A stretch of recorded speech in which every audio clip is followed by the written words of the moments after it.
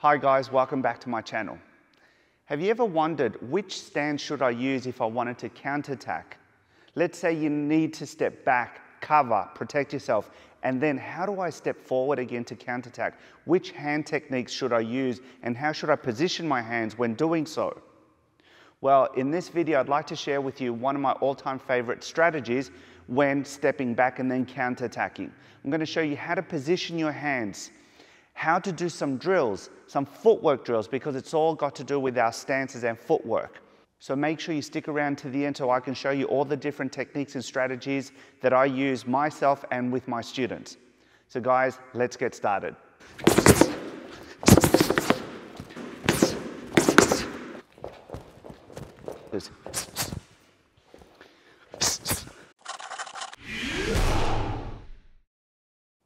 Okay guys, so number one, you have to always keep a safe distance.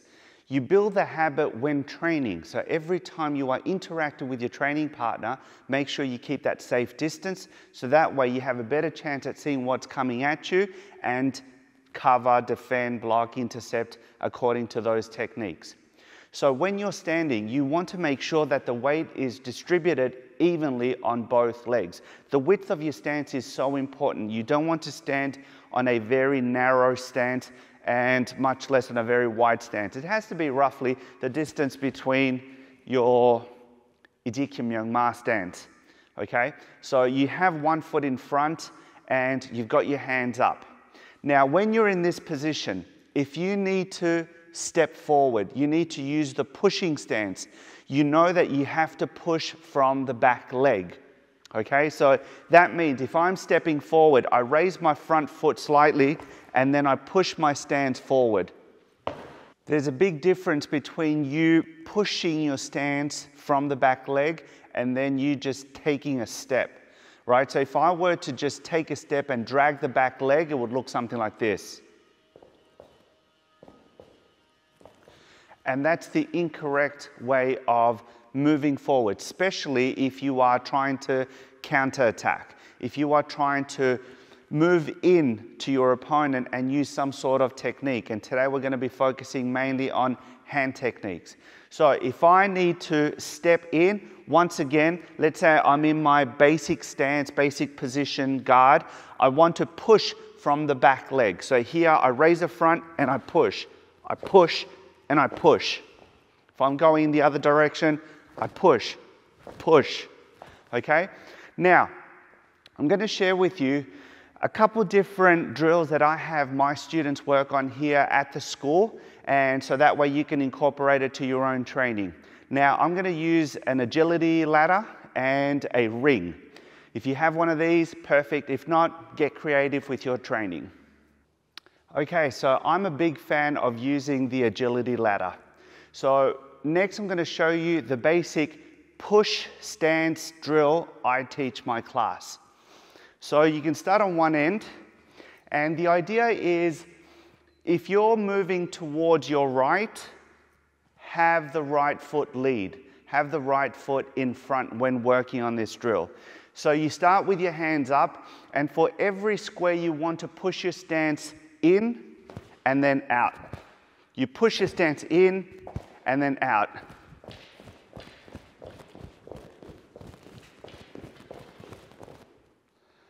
Like so. Then when you move towards your left, of course, left lead. So here, push forward, land in front, and then step out. So you push, push on every single one.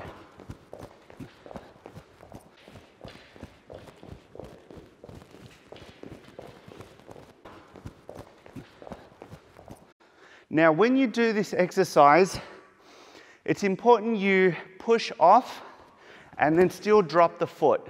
You don't want to be kind of like, like this. When you do this exercise, a couple things. Number one, keep your hands up at all times. And number two, you want to look at the ladder with your peripheral vision.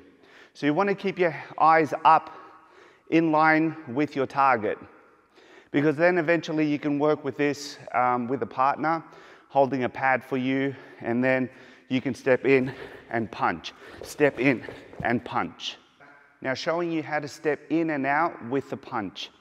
So once again, I'm going to my right, right leg in front, hands up. So the idea now is that every time I step in, I want to punch.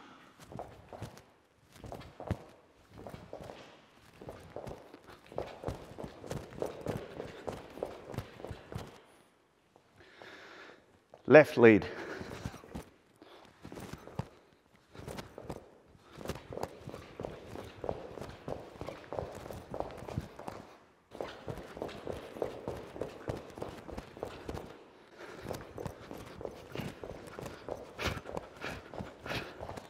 So next I'm going to show you a different strategy. I use this one with my students. I have them position a ring like this one on the floor and then when they step into the ring, the idea is to work on, say, the double punches, but then bring that foot back, not with a bounce back, not with a push back, but with a step back.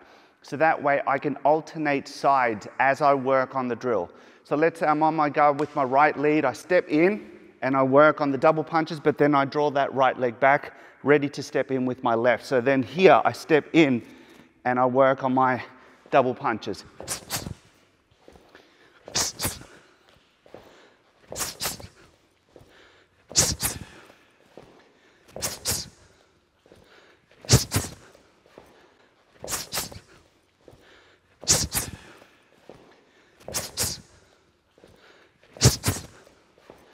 Next, I'm going to show you how you can work on these steps and hitting a target. I say it all the time, if you don't have one of these Thai dummies, not to worry, you can use any punching bag, body shield, or makiwara like a striking board. So when attacking, so Wing Chun theory talks about the centerline theory. So you want to use the closest weapon, the closest tool you have to hit the target. So if I'm back here and I'm stepping back, I'm stepping in, you may want to use the leading hand first if the area is clear, so that way you can strike quicker. However, if you are stepping forward and the other person is attacking, then maybe you can use that arm to intercept and then strike with the rear hand. So you need to be comfortable with both options, both strategies. Okay, now when defending, See, other forms of martial arts will teach their students to just bring their hands up and stop punches coming to their face this way. Most people that teach this strategy usually use boxing gloves. Okay, so then they can protect their face with the boxing gloves and then counterattack. And usually the person punching also is wearing boxing gloves. So you've got these big gloves, both attacking and defending. So then, of course, that strategy under those circumstances works fine. But if you're in a real situation out on the street and you're wearing no gloves and the person attacking you, same deal, with no gloves, you do this, you'll have massive gaps between your hands, around your hands, for the other person to still land those punches. Okay, so your best option is to have a safe distance, to keep yourself away from reach and use your hand strategically and not fixed in one position. Okay? So, usually, students or people with not much experience, they'll tend to panic and just shoot their arms out like this to try and stop those punches from reaching their face. Again, that's the worst thing you can do. So, I wouldn't recommend this, but at the same time, I don't recommend that. So, I use my footwork to keep myself safe. And then, as I'm doing that, I use my kwansao, kwansao to cover. Okay, gang sao, kwan sao, pak and then I can find my opportunity to counterattack. Okay, so keep that in mind when practicing these type of drills. So if I'm moving in, I will usually move in first with the chin choi, with the arrow, in and out, in and out, in and out. And of course I work both sides, in and out. You want to do this hundreds, thousands of times so that way your movements become reflexive and you build muscle memory.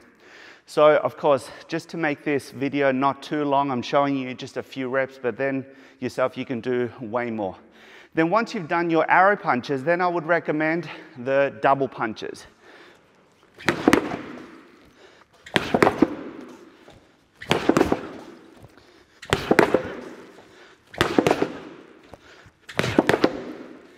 And then, of course, the chase.